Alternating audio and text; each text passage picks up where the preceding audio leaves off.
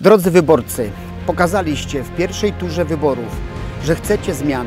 Wszyscy marzymy o dobrej gminie, o gminie pozytywnych i uśmiechniętych ludzi, o gminie, której rozmawia się z mieszkańcami, o gminie, w której nie ma lepszych i gorszych. Koniec z wyprzedażą gminnego majątku. Zapewnię zrównoważony rozwój miasta i sołectw.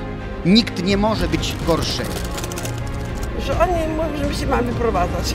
On pokazali mieszkanie na Wistorycie w Jedynce, czy gdzie tam, oby to taka ruina, nie wiem kto tam mieszkał, druty z elektryczności wisiały, oby to remont by mnie kosztował 100 tysięcy.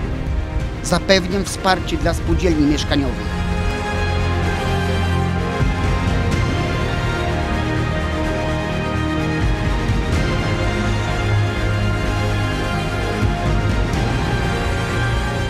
My mamy najdroższe opłaty w tym momencie, nie? I się z tego wycofał, więc on nie jest naprawdę dla ludzi. Ja mówię, ten deptak, co on zrobił z tym deptakiem? Przecież ja na własne oczy widziałam, jak się ludzie po prostu przewracali. Ja panu powiem, czas na nowych ludzi. Zatrzymam projekt i budowę obwodnicy kwiaciarni, a zaoszczędzone w ten sposób pieniądze przeznaczę na sołectwa.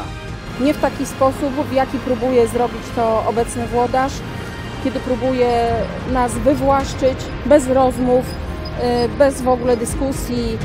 No, myślę, że najlepszym sposobem byłoby po prostu no, czas na zmianę, po prostu czas na zmianę.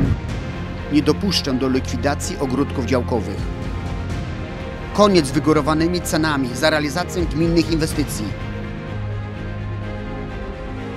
Pana nie znałam.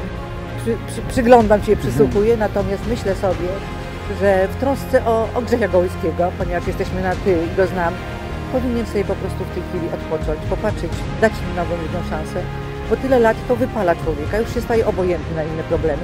Więc ja po prostu w trosce o niego, żeby po prostu popatrzył, odpoczął, dał sobie spokój. A Panu życzę, żeby to, co Pan mówi, żeby się spełniło. Żal to przyznać, bo to nie przechodzi mi przez gardło, ale i Kościerzyna, i Lęborg Wejherowo się rozwijają, a tutaj moi znajomi, którzy przyjeżdżają po latach, po 40, po 30 za granicą, mówią, co się tutaj dzieje. Można było W więcej. związku z tym, Panie Andrzeju, ja Panu życzę Bardzo wygranej, dziękuję. a Bardzo mieszkańcom dziękuję. polecam, po prostu polecam. Koniec z jednoosobowymi decyzjami. Czas na dialog. Ta zmiana nie dokona się sama.